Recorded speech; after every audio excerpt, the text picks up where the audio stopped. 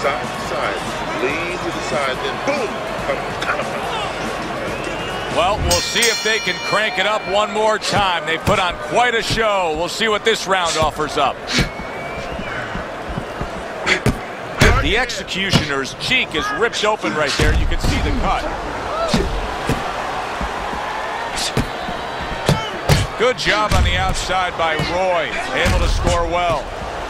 Boy, you gotta love being his opponent, right? You come into a fight like this tonight, you're so worried about getting off your punches, landing accurate punches. Well, here it is.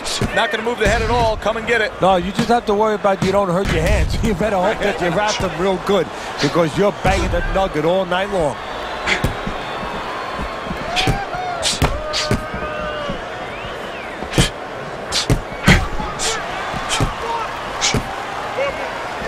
Among some of the athletic exploits that have turned heads by Roy Jones Jr. is the fact that he's also a fairly decent basketball player, and he once played a professional basketball game by day, now granted the minor leagues, and then a world title fight that very same night.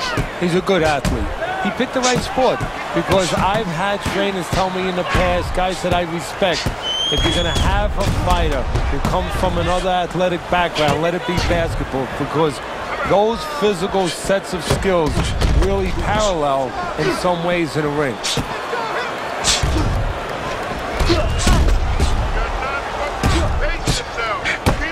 What a fight. What a great, great, non-stop action fight this has been. You can see the cut that has started above his eye. And now he needs to get on his wheels a little bit.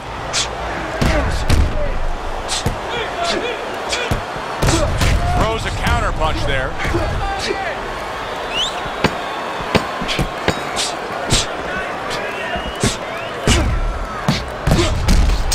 Unable to score with the upper. This is an all-out war. With both hands.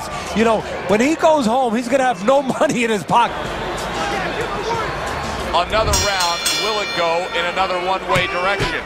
It's been a one-sided fight so far tonight blocks that belt line well.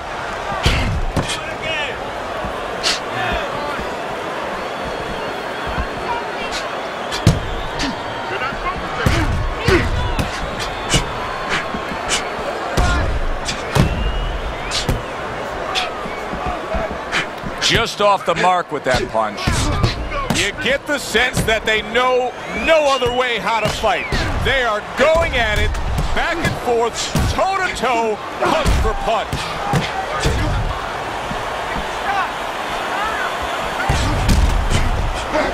Wow, clearly effective. He was just damaged by that combination. What he needs to do right now is grab on. Oh, and there you go. The executioners. Oh, that's gotta hurt. And he is down. He is down for the first time tonight.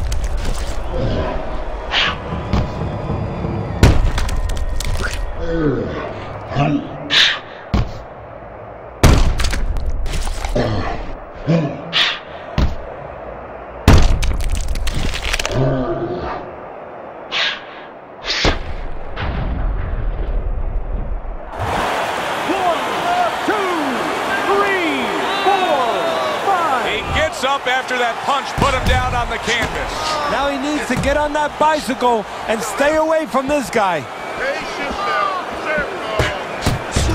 Block that time. It was intended to the head. One minute to go in a round that feels like an all-time classic. Punch for punch, they're meeting each other. Very nice work by Roy Jones Jr. on the outside. Roy Jones Jr. is being very efficient right here. I mean, he's just picking his shots. His accuracy is through the roof. Well, that's one of the talents, and you hope is a talent of a top fighter, is his ability to pick his shots, to be calm enough to see the openings. He's seeing everything. Oh! Roy Jones Jr. is in a bad spot right now. He's been stunned. End of the round. Six rounds in the books, six to go. Oh, that's gotta hurt. Roy Jones Jr.'s hurt bad by a right hand. Able to dismiss his opponent's shot and then comes back with an uppercut. Wow! Oh, he is stunned. He could go down.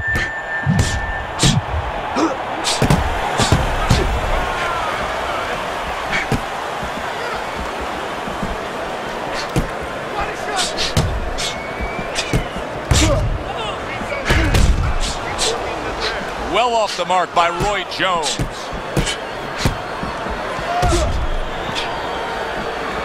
Move your head. In and out, in and out. Parries that punch intended for the head.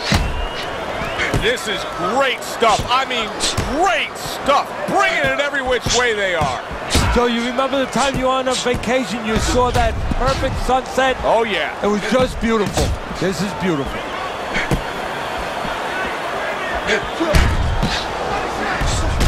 Looking counter punch.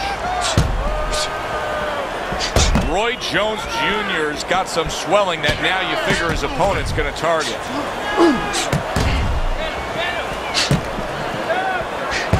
What a great round. Two minutes in, 60 seconds to go. Back and forth they go, each man getting the best of it. He just gave his opponent a really good taste of how fast his hand speed is. Yeah, you know, a lot of times we talk about power, and we see that power, you know, can damage a guy right away, obviously, and it can intimidate an opponent. But hand speed can do the same thing, and I think it's an intimidating right now to his opponent. He's afraid to let that jab go because he might get counted with one of those lightning right hands.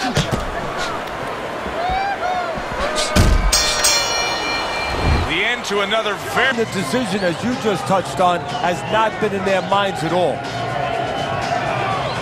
right. Let's work on that cut.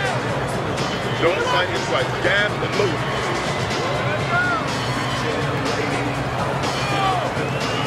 Teddy, what do you think here as we start this round? I mean, you watch what he did in that last round, and you got to think that he can get himself back into this fight. Well, that's how he's got to be thinking it. That's kind of what he's made up of. He's not a front runner. You know, he's not a fast starter anyway. He's the kind of guy that his real strength is to be able to weigh you down, to have a great resolve, and to be able to chip away, chip away. He's chipping. Assume there has to come a point in this fight where he has to make the commitment to throw the power punches. It's hard to envision a way he's going to win this fight without going down that road. He doesn't have the confidence to do it. I don't know if he's mentally strong enough to do it. I think he's worried about throwing hard at the guy because maybe in his mind that means the guy will throw hard back at him.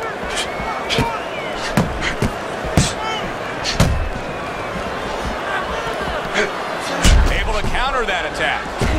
He got rocked earlier in this fight. I don't see him changing much up, Teddy. Would you be advising him that now is time for an adjustment? Well, you have to have a plan B, maybe even a plan C when you come into it. Maybe he doesn't have one. Now, if he doesn't have one, you're not going to tell him to start changing up because then you're basically saying, I don't know what to do, but, you know, we're in trouble. The executioner is making for a very inviting target right now. You can see the blood around that eye. The cut is obviously worse than it was just moments ago. A series of power shots, and he is hurt. The thing here right now is he's not disrupting his own offense. And for the second time tonight, he goes down. The